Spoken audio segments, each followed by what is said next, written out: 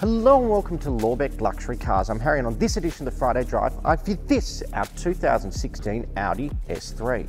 The hottest A3, if you like, convertible, the S3 has a 210 kilowatt turbocharged four-cylinder engine under the bonnet.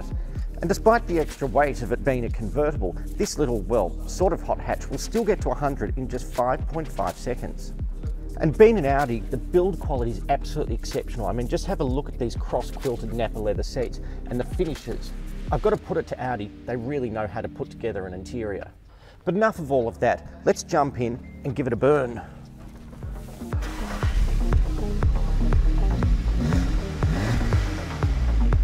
Now the skeptics of you out there might be saying, why would anyone be mad enough to pay all that extra money to buy what is essentially a jumped up Golf GTI with the roof cut off? Now I'll have to apologise viewers for my general appearance. As you can see I'm very hot and very bothered. Um, I should have realised that driving a convertible in this heat was probably not such a good idea. So, but I guess at the end of the day we're all suffering. So, all things being equal, I think that's not such a bad result.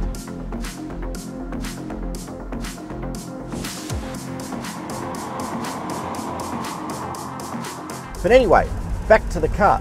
Now, it's a fair enough question to ask, you know, is this just a jumped up Golf GTI?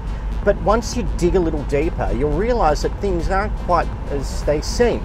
You see, under the bonnet of this car is, like I've said, a 210 kilowatt, 2 litre four cylinder.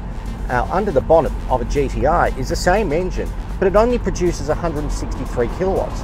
This engine is even more powerful than the Golf R.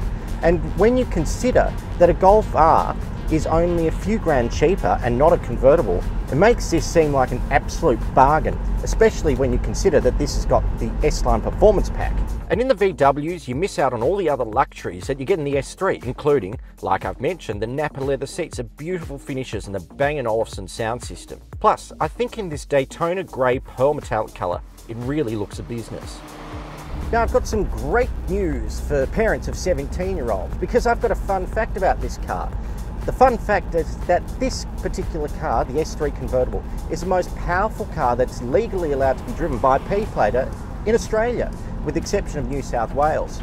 Whereas the other S3s are all too light, and so they just get bumped across the uh, power to rate ratio limit. But anyway, an S3 it is, convertible. And that raises a question I bet you're interested to know the answer to. How does the removal of such important structure, like the roof, affect the ride, handling and performance? Now of course driving the convertible means that the 0 to 100 time has been affected to an extent because of the extra weight in terms of the structure of the car to stop it flexing about. And just coming to that, the car for a convertible like this is actually not too bad. I mean you don't get much scuttle shake like you do in most other convertibles and the only time when this when the body sort of gets unhappy is when you drive over a pothole like this one that I'm trying to avoid. Only when you hit something like that, which you'd avoid anyway, does the car get a bit upset. But overall, really good and it's still really fun to drive. I suspect part of the reason is because the wheelbase is so short, but I don't know. All I can say is bravo to Audi because they really, really know how to put a car together. No questions asked. So if you're in the market for an incredible value, beautifully built, awesome sounding performance convertible with all the best options and a fully documented service history in immaculate condition, come down to Lorbek Luxury Cars and buy today. We'll see you next week. Woo! Nearly blew my script away. Oh.